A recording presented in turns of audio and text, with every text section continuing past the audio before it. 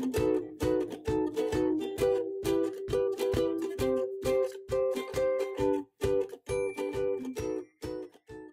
friends, it's Christy here with you on the Lawn Fawn YouTube channel. Today I'm going to be making a card using Wood You Be Mine, Scent with Love, and Swan Soiree.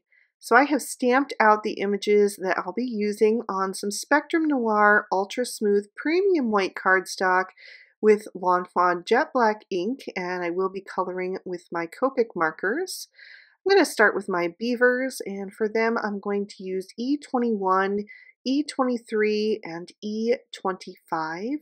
So I recently did a holiday card with these beavers just last week on my own channel, Christy Gets Crafty, and I used a different brown combo. So I wanted to mix things up today and show you a different variation. So that's why I chose these E20s starting with that E25 for my shadows and laying those in.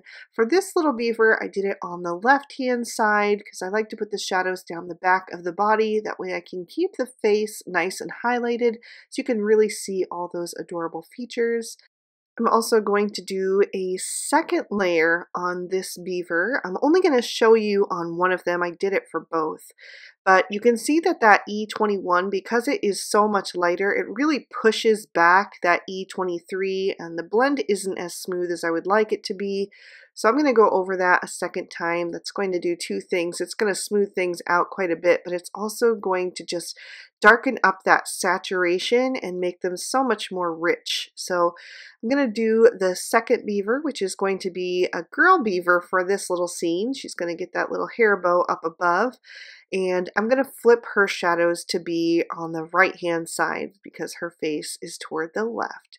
So I'm just going to continue blending in the same order, starting darkest to lightest. That's just the way I prefer to do it, but you can do it either way. And putting a, the lightest shade, that E21, on the lower part of the face and then also down on the belly. And then once I finish up her second layer, I'm going to move on to their tails. I'm going to keep the E25, but I'm going to add in the E27 and the E29.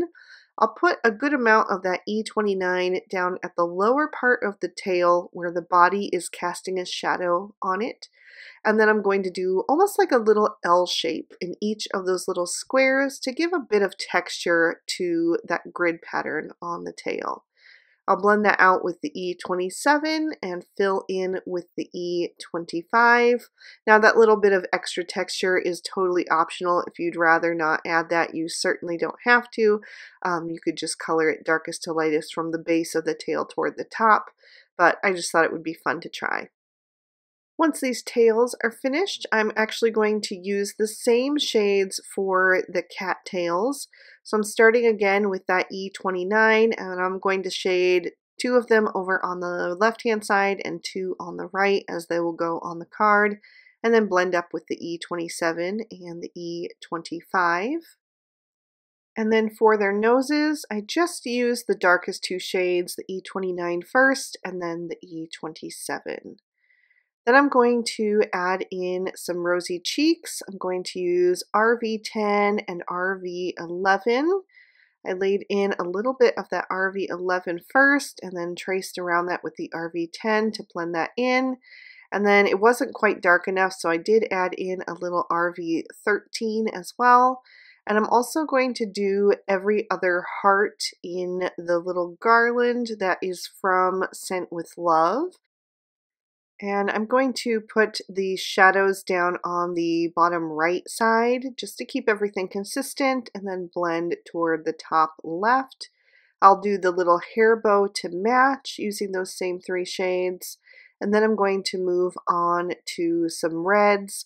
I'm going to use R24, R29, and R39 and I'm going to do this big giant heart that these two beavers are kind of gnawing on. I think it would be super cute to do it like a wood grain pattern as well, but I decided I wanted that nice big pop of red in the center of the card, so I decided to just go, maybe it's like a, a candy heart or something like that.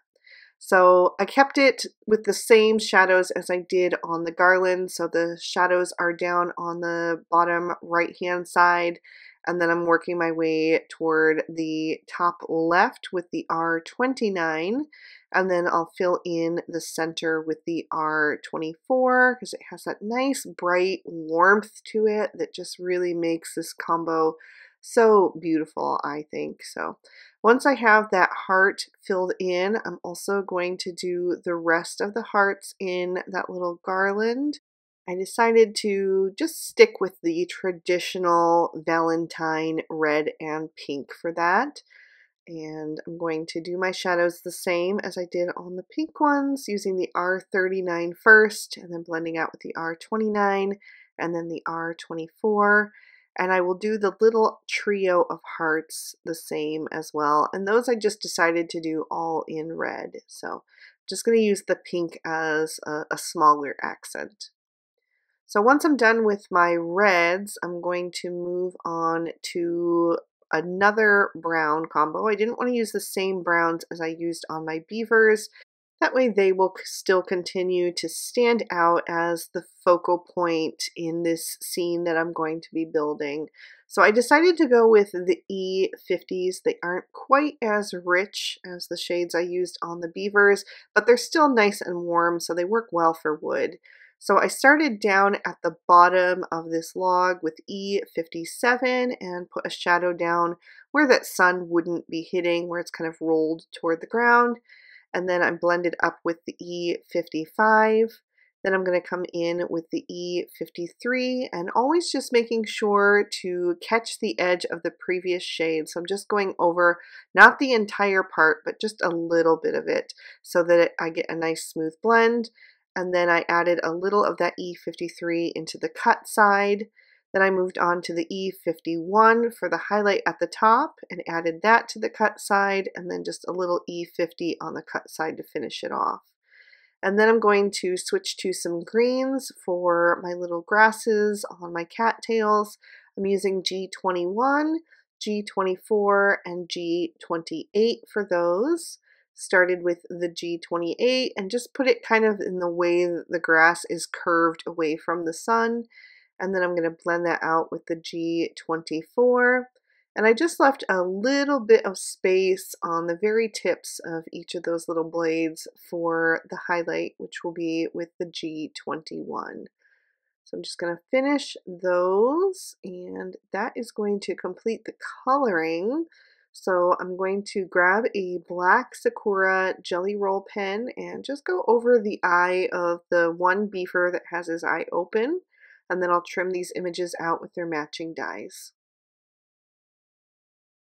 Next, I'm going to start working on the different elements for my background, and they are all created out of Bristol Smooth Surface cardstock and I'm going to blend on some Salvage Patina Distress Oxide ink. So the first section that I'm working on is the sky, so I'm using the cloudy stencil to create some nice cloud formations and turning that stencil so that I get different clouds as I go down the panel. I'm only going to have a little bit of the sky showing, so it didn't need to be very big. So I'm going to finish this one up and then just add a little bit of color down below so it isn't quite so stark white and it matches kind of the glow of the rest of the panel. And then I will set this one aside and the next piece I'm going to bring in is using the Bayou backdrops.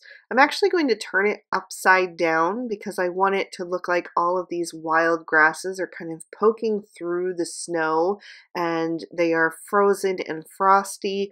So that's why I'm still using my Salvage Patina Distress Oxide ink and just pouncing it on so that I don't bend those delicate little die cuts with the different uh, vines. So I was going to only do the grasses and then leave the frame white, but I changed my mind and decided that I wanted that to have a little bit of a frosty glow as well. So I'm just coming in lightly and adding a bit more of that salvage patina all around. I'm not doing it too perfectly because like I said, I just wanted it to look frosty.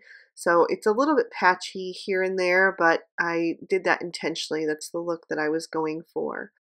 So I'll just pounce on a little extra color here and there, and then I'm going to move on to the next piece. And for that, I'm going to use one of the meadow borders. I'm using the one with the curve. And I'm going to, again, just be really careful at the tops of those grasses because it's real easy to bend them if you're too rough with your blending tool. And then I'll come down the sides and the bottom to add the frosty glow to this field of snow as well. So because this is kind of like a wild scene, if you've ever walked along like the waterfront in the wintertime, which we do because we live in a snowy lakeside area, um, you know, there's a lot of foliage and growth that kind of comes up and then gets frosty and um, that's kind of the look that I'm going for. I also did cut the little lake out of the Bayou backdrops from some mermaid cardstock and I'm adding some salvage patina to the edges of that as well just to make the edges stand out a bit and then I am ready to start assembling the little scene here. So I'm going to start with the sky. I'm going to glue that to a peacock card base using the glue tube. Just make sure that it is on there nice and straight. And then the next piece I'm going to use is the meadow border. So that's going to overlap that sky so that you just see a little bit of it on the horizon. And then I'll take the pond and I'm going to add that right below the grasses and just kind of put a little bit of space in between so you can see the bank on the other side of the pond.